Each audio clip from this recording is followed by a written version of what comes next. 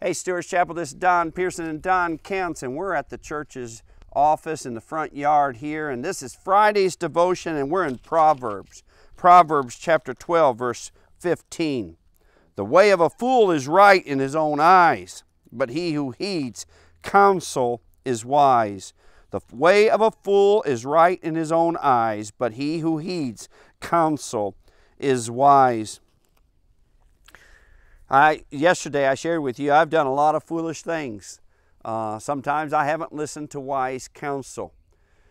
Uh, it will be two years this August. It seems uh, much less than that, but it'll be two years this August that I broke my back in a four-wheeler accident. I don't think I've told you that story, and not I think I've shared it with the church in bits and pieces that day I was home. I had a, in my mind a whole list of things I wanted to do on my day off.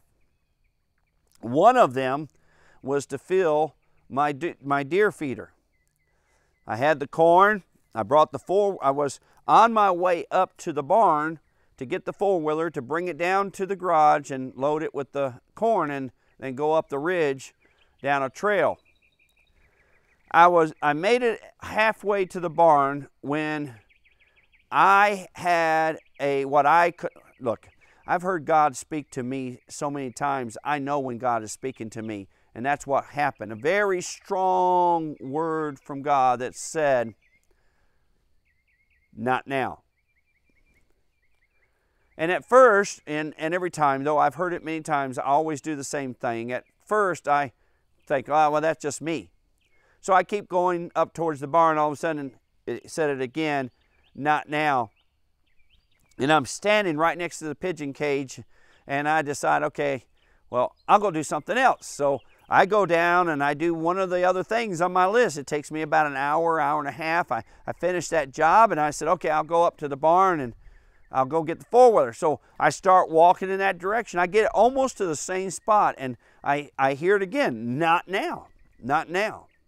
And so I, I, I, this time it didn't take twice. This time I turned around and I went back and did what I was supposed to do. And probably another hour, maybe two hours passed. And I said, okay, I'm going to go up and get the four wheeler. So I go up, and this time I don't hear anything. I get the four wheeler, I bring it back, and um, I, I load the corn on, I strap it down. I had never strapped it down before. But normally, because the trail went around a ridge and it was very, very steep on a rock ledge, and that, that trail was like that too. So the four-wheeler would always be tilted downhill a little bit. And usually the, the corn would slide off and I would have to get back up and put it on. And so I had strapped it down. That ended up being my first mistake. I had six bags, that's 300 pounds of corn strapped on to a four-wheeler plus my 200 pounds. I'm going along and I'm feeling really nervous. Uh, I don't know whether it was because God had already warned me twice, but I'm feeling really nervous. And along the way, I'm thinking, I probably don't need to be doing this. And I'm going around the curve and I get to a place, I get to a place where the, it's, a, it's even more so tilted down and there's a log a log that's about, about this big, about a four inch log that has fallen over the trail, but only on the upward hillside. It doesn't cover the whole thing. I come right up against the log and I stop.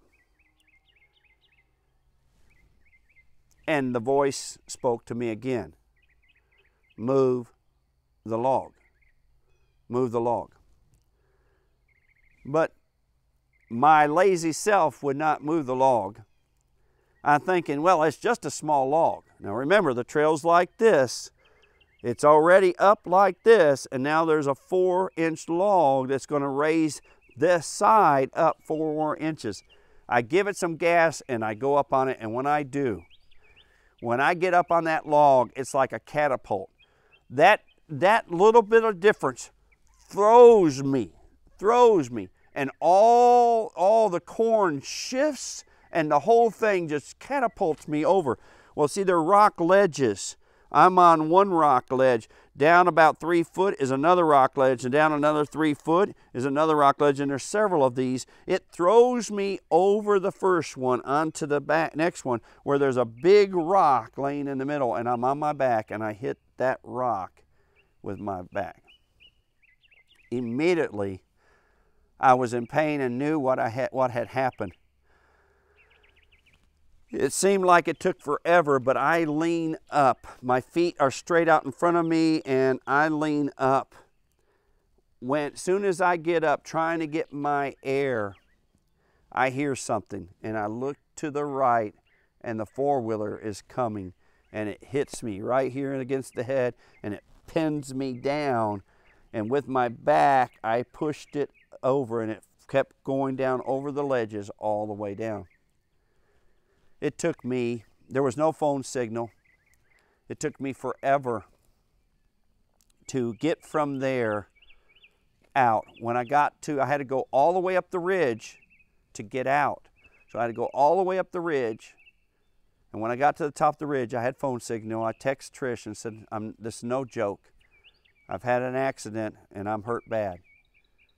She drove from Fayetteville to the house and by the time she got to the house, which was a, I mean, 20, 25 minutes, I'm still not to the house. I'm still creeping.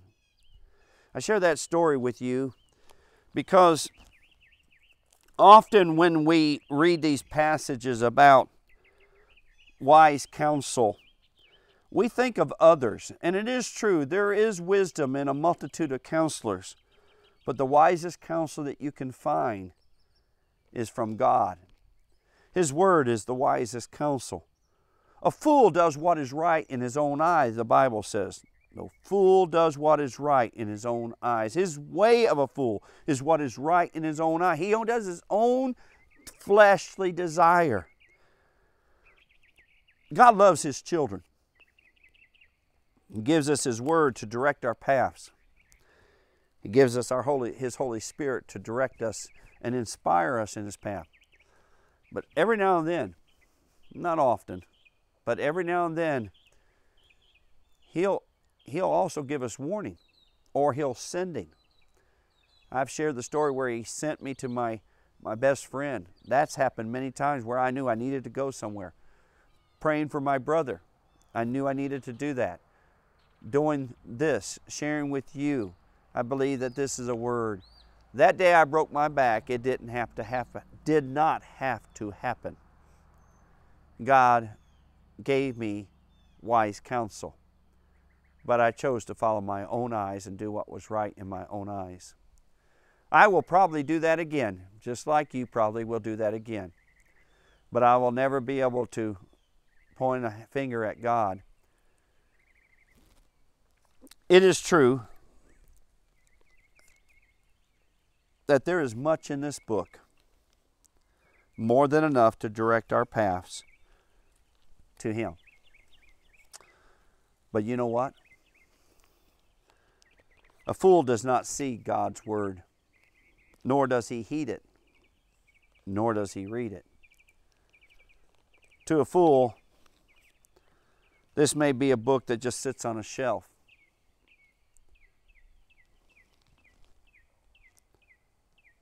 It can be debated for a fool. But God offers us plenty of wise counsel. Next time you're getting ready to make a decision, seek the Lord. He does promise to guide His children if they'll seek His face. Love you, Stewart's Chapel.